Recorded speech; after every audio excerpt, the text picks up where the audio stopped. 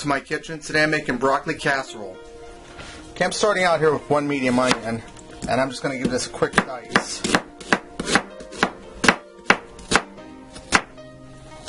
And it doesn't have to be nothing fancy, just diced up.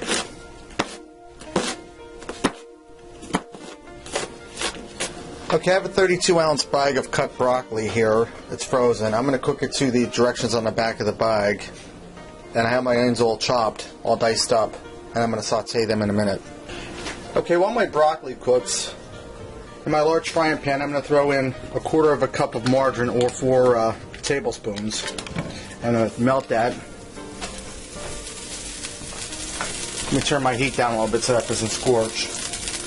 And that onion that I chopped up, I'm going to saute that in here till it's cooked through and translucent.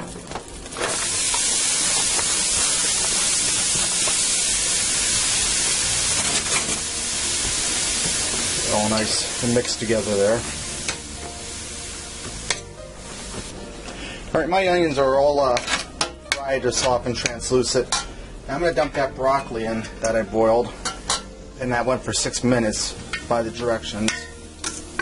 And I'm just mixing it in this frying pan. It's going to go in a different pan.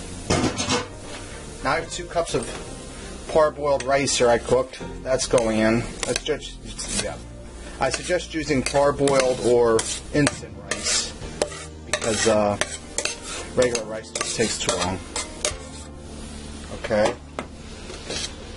Now I have two 10 and a half ounce cans of cream of mushroom soup.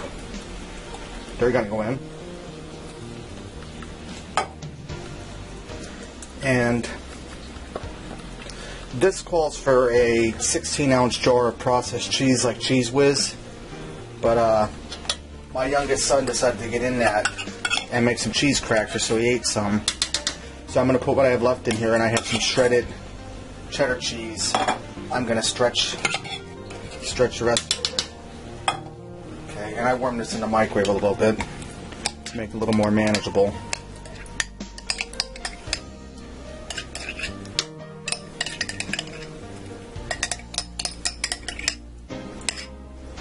This is heaping over a little bit because uh, I used more broccoli than what the directions came called for because it called for uh, 20 ounces of broccoli and I couldn't find two 10 ounce bags or one 20 ounce bag, so I got a 32 ounce bag of broccoli.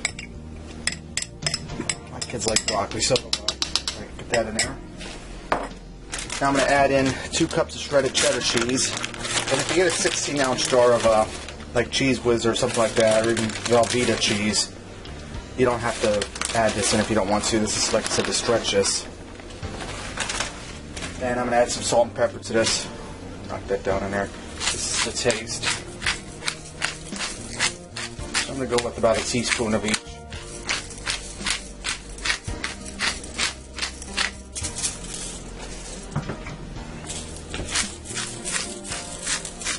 Maybe a teaspoon and a half on the salt because it seems like you never get it salty enough. Okay. I'm going to gently stir this together without making a mess because it's kind of full.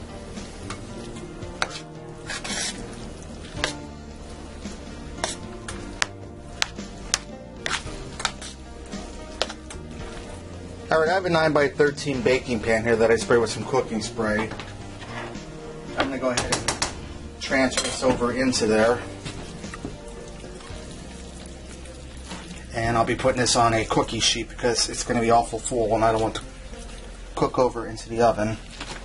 And this is going to go into a 350 degree oven uncovered for 30 to 40 minutes until everything's baked through and your top starts to turn a little brown. Then it'll be time to take her out. She'll be done. Okay, now let me just even all this out here.